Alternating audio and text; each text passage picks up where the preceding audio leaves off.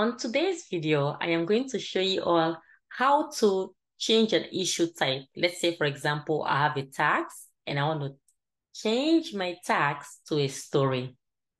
Welcome back to Aisha Scrum. I'm very happy to have you join my platform. So let's get into the video. So sometimes at work, you will create a tax and prior to maybe backlog refinements or even sprint planning and through conversation with your team, and then your team will be like, oh, that tax is actually too big for it to be a tax. I think that should be a story.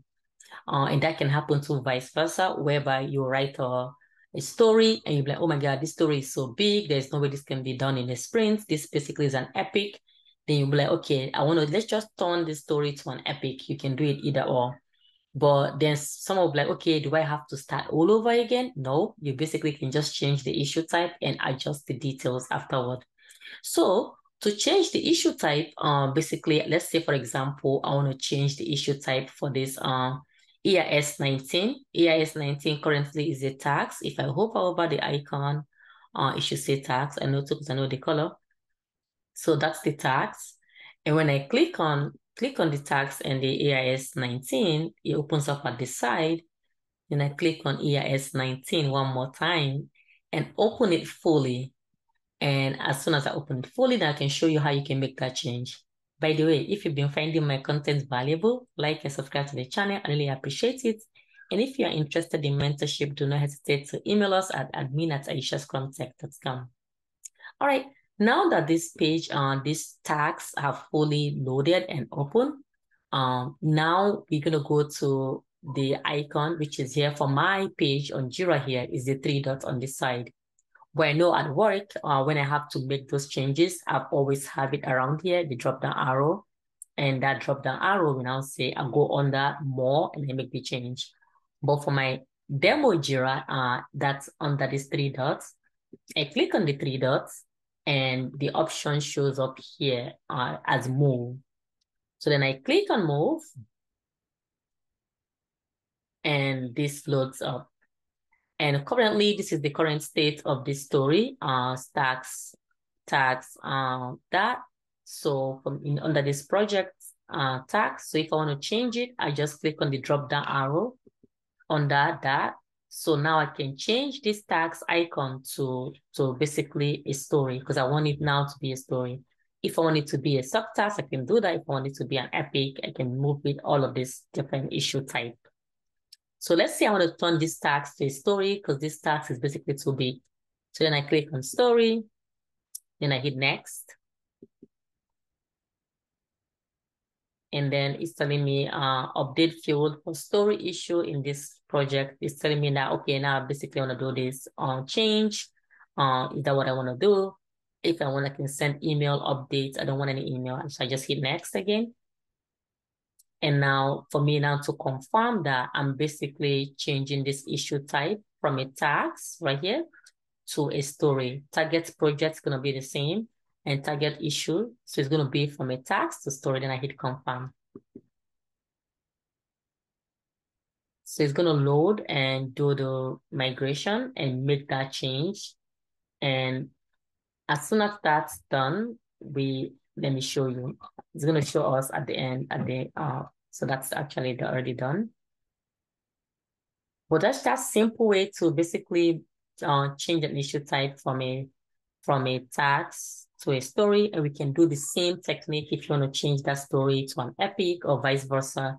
You know, like uh, if an epic you realize it's too small, that can be a story. You want to make that change.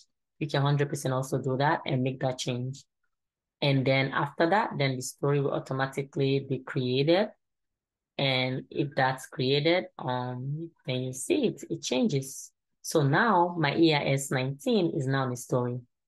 You see? So it went from being a tax to now it's a story. So the same thing you can do too if you have a, a basically a tax and alternative story. So let's say now you also have a subtax, right? Uh, that you have a subtax that you basically you think was small and that's part of a tax, but you realize that, oh no, this subtax is actually big. This should be a story on its own and not be mixed with a particular story.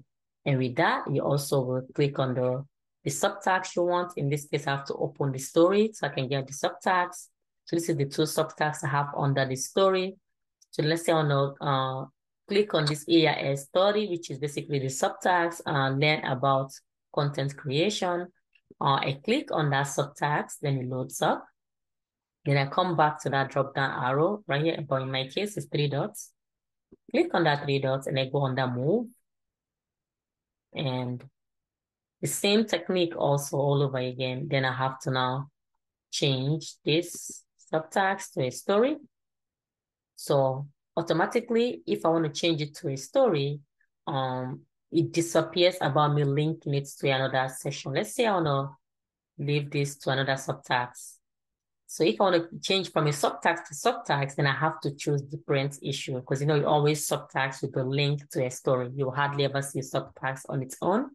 So then it's even giving me the option that if I want to change the story.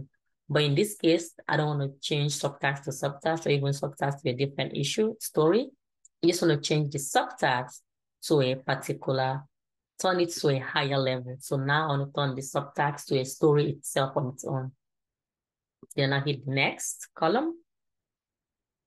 And then the same thing, the same steps, and I hit next.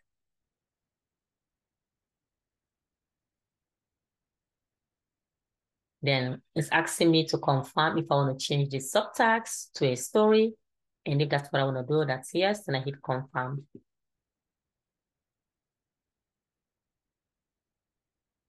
And then it's going to load up and do the migration and change that subtext to now be a, a tax, I mean, a story on its own.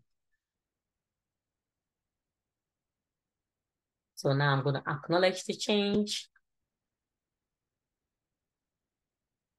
And ta-da! Now we have our story. So it's going to be loading. So now, so now we have our story. So now it's learn about content creation. It went from it being a subtext to now being a story. So if you've been finding my content valuable, like and subscribe to my channel. I really will appreciate it. And if you're interested in mentorship, do not hesitate to email admin at aishascrumtech.com. Thank you all for watching and see you again in my next video.